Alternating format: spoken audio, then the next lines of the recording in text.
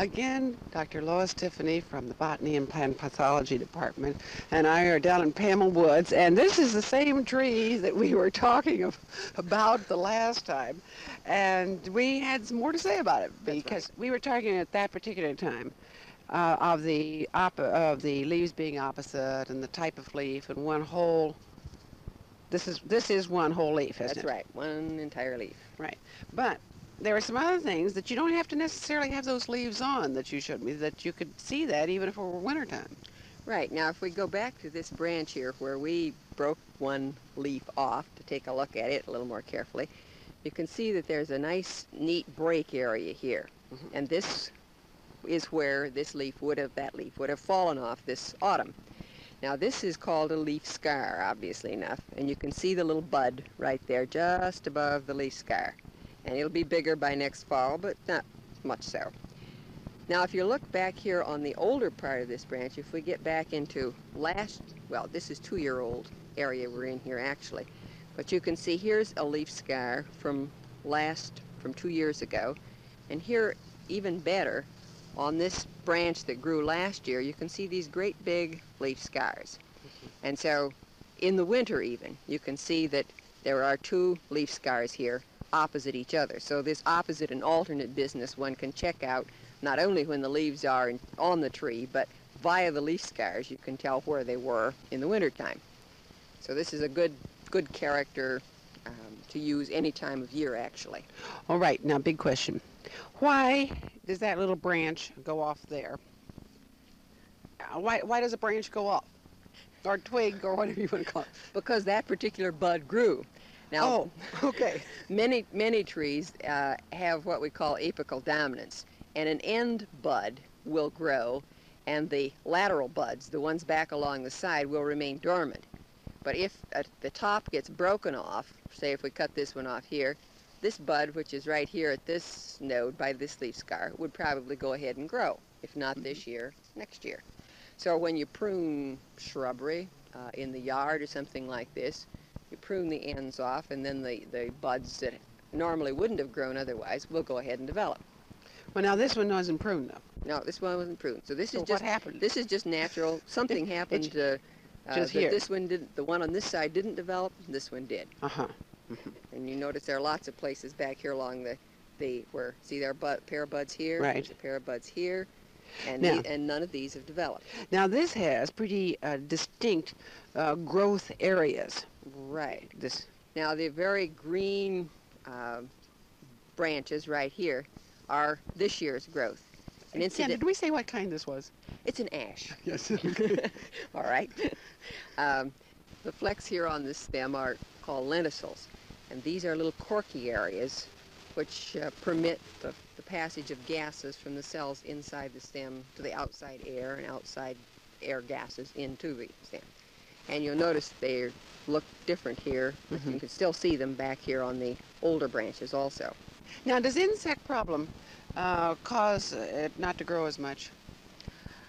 This would depend on the insect and on the particular plant. This would vary with different combinations. Well, now one thing I wanted to for us to go to this because we were talking about and uh, not what it is particularly, but you said that this this is the what effect of an insect? Right. This is where an insect has actually eaten out the, the green cells of the leaf. So that, uh, and these are the, the green cells are the ones that make the food for the tree. So when they're eaten, uh, if, an, if enough insects ate enough green cells, then this tree would be in trouble. Now another funny little one here. Where did it go? Did I step on it? This leaf right here, I think, is the one you were looking at. Yes. Now that that looks like you know a little spider went by and left a little web. Now, I'm not an entomologist, Right. but I think this is caused by an insect that's called a leaf miner. And it, it tunnels actually through, this, through, through the leaf and eats out again the green cells. And so you see the little trails uh, where it's journeyed through the central part of the leaf. Now, um, as I said, I may be asking something that I shouldn't be asking you, but um, as it goes from here across this main vein, now did that cut off any of the food um, traveling down to this vein and back? Uh, Maybe, maybe not. Maybe, maybe not. I don't know really how. Um, my impression is that they just eat the the green cells, which are relatively thin-walled cells, Mm-hmm. and the cells which uh, actually transport materials are fairly thick-walled. Mhm. Uh, but again, I'm I'm talking about something I don't know a lot about. Now, as far as other trees, this is this wait, this is a puny one. This is a puny one, but it's one that um, is of interest. We were talking about poison ivy. Right. And this That was last time. That was last time. And we were pointing out that poison ivy has three leaflets Mhm. in each leaf. Well, this is a box elder, and it grows in the same kind of places poison ivy does frequently. And when you see this as a seedling tree with its three leaflets in each leaf, it sometimes can look very much like poison ivy. The edges of the leaf are, are cut in very much the same way. Now, So- does the box elder end up with the three leaves? Uh, some box elders have three leaflets on each leaf. As you Uh-huh. can see, this plant does fairly consistently. Some of them will have some threes, some leaves that have three leaflets, Uh-huh. and some leaves that have five leaflets. And so that there is no, They're just this is just natural, Natural, yeah. variation. but it does. I can definitely see Yeah. why it would resemble the poison ivy. Now, One of the interesting things about box elder, it's sort of a scrawny tree. Uh, you mean this one is, or all box elders? Often they are. Oh. Uh, but it, it, you notice it has opposite Mhm. uh, leaves here again, and it is actually in the maple group of, of plants. But it's the only maple that we have in this part of the world, or in this, at least in the Midwest here, that has a compound leaf. All of our maples, both hard Uh-huh. maples and soft maples, have simple leaves, like the Uh-huh. ones we've talked Right. about before. So this uh, is is a peculiar maple. Now, as I say, this this is one that looks like poison ivy when it's small. But now, we were talking about how poison ivy can grow, and it's not always on the ground. And this tree is a good example of how it can go up. Well, Right. see if we can get it from the bottom. Now the uh, the vine that you can see growing up uh, that oak tree there is actually a Virginia creeper vine. But if we That's a little five-leaf one. right, but if we couldn't see the the leaves on it right now, the vine itself, the stem growing up there, looks very much like a, a poison ivy vine. And grapevines, obviously, out in the woods, look very much like this also. And don't use them to. Don't use them to swing on, no. Will you get poison ivy from the bark, or does it have to be from the leaf, or do you know? You can you can get it from any part of the plant, even the roots, but uh, you have to come actually into into contact with it. I mean, just walking by the tree, Right. Or something like this would not be a problem. Like contact with the roots or with the, the with the stem or with the leaves, Yeah. right? And uh, this has to, again, finish this section at least. And our guest has been, again, Dr. Lois Tiffany from the Botany Plant Pathology Department. And maybe the next time we'll go on campus on some of the unusual trees. Fine. Thank you.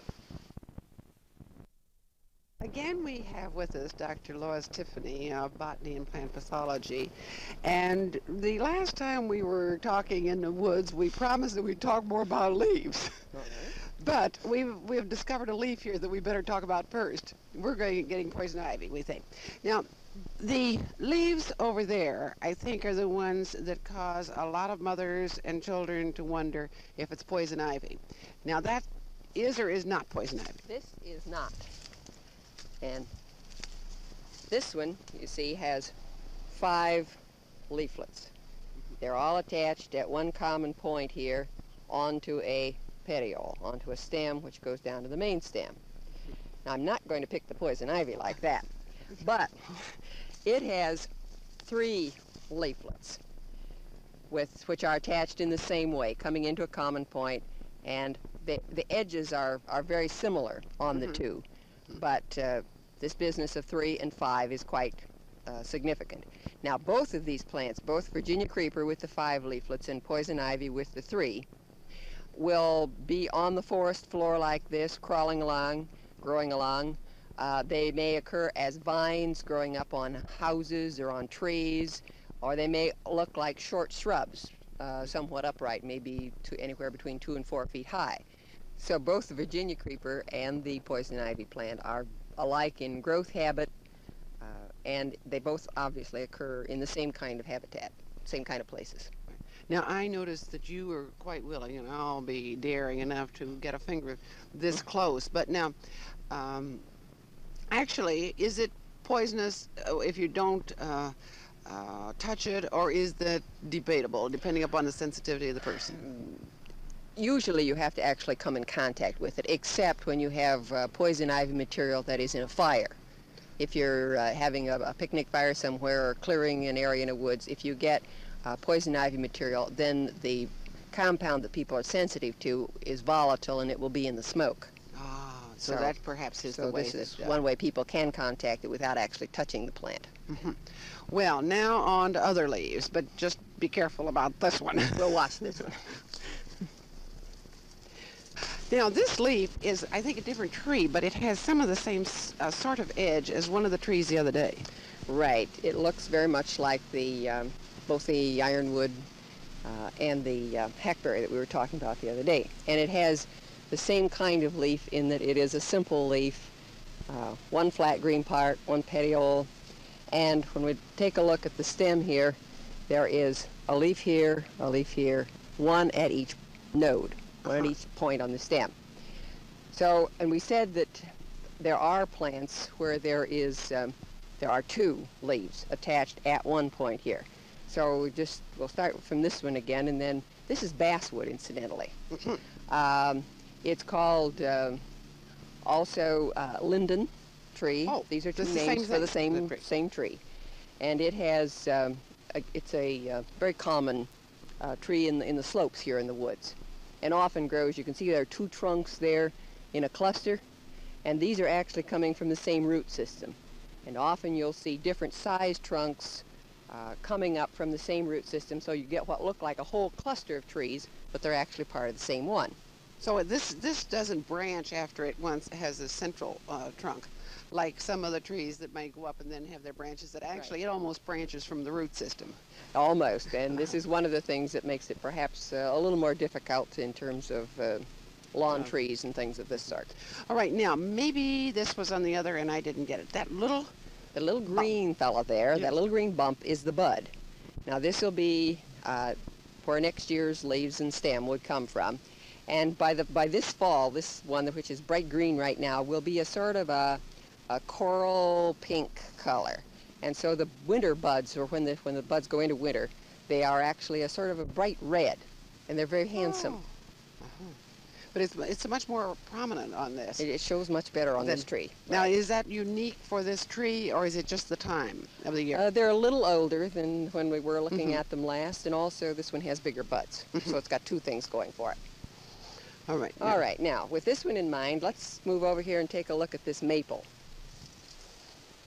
Now, this one's this one is different. This one is different. This is uh, one of the maples. This is so-called hard maple, and as you can see, at each node back here on the stem, there are two leaves. Two here coming off in this plane, two here. And the, the basal part of the petiole here tends to, to sort of sheath around the stem, sort of encloses it much more than the other things we were looking at. Mm -hmm. And you'll notice the leaf itself is a very different pattern. And it has each one of these big areas here is called a lobe. And so this individual, this is a, still a simple leaf, but each the leaf has three lobes on this particular one we're looking at. And it doesn't have one big central uh, vein. That's right. We can see this perhaps a little better. That's our little friend. see this better on the reverse side of the leaf here. You can see that there are are three large veins. In fact, there are a couple of ones which almost qualify as being as big, uh, rather than having one main midrib vein, as on the leaves we've been looking at before. So the vein pattern is quite different too and is characteristic of this particular kind of tree. Here again, this hard maple and the basswood would be trees which we'd commonly find on slopes here in central part of Iowa, like uh, the woods we're here in here today. Mm -hmm. Now, now one other thing before mm -hmm. we go to the other though. Okay. Now uh, on the other we had the little buds, but now this doesn't have nearly the prominent buds that the other one did, and uh, it's exactly the same time of the year. Okay, now this one, they're, they're down in there, and if we took the, broke the petiole back, we could see them nestled right in here where the petiole attaches onto the stem. Mm -hmm. But uh, they, they haven't developed nearly as much. Mm -hmm. They won't be as big by next fall either. Now, beginning right here is this year's growth, okay, Right. This much stem is this year's growth. How much do they usually grow a year? Or does it, it, it, varies a great deal on individual trees and on different parts of the same tree. Mm -hmm. This is down here in the shade, so I'm sure if we you know, if we climbed up to the top of the tree, we could find some that were much larger even. Is that a disease? That's an insect. Now these are opposites, but now Right. th- that one right there has opposites too, and they look a little bit different. All right, let's get it down here. Oops. Now, you're right. You can see on the branches here, if maybe we can see it on this one very nicely. There are two leaves here, two here, two here. Mhm. And, but this much is one leaf on this. Right, and this much is one leaf here. Right. And you can see, here again, they're small, but there's a bud right down there. And this is the way we tell that this much, I'll break this one off so we can take a look at it, is one entire leaf. Mhm. Now, this is the, the petiole still, but each one of these flat green parts, which are separate, would be individual leaflets. So mm-hmm. this is a so-called compound leaf because it has more than one flat green part. And more than that, it's called a pinnately compound leaf because there are leaflets attached here, here, and here. So they're attached at different places on the stem. Now these are all important term, uh, terms if you're going to be looking up in, uh, in the tree book for identification, this sort of thing. Right. One of the first things uh, a tree book will, will ask you about in terms of the plant you're looking at is whether it has simple or compound leaves. Uh-huh. And so this is uh, one of the one of the beginning steps. If you miss that step, you, You had a bad, you're in the had a wrong spot. Right, and we'll have to get the details of, of, of that particular type of tree at another time. Our guest has been Dr. Uh, Lois Tiffany with the Botany Plant Pathology Department at Iowa State, and we will continue perhaps another day.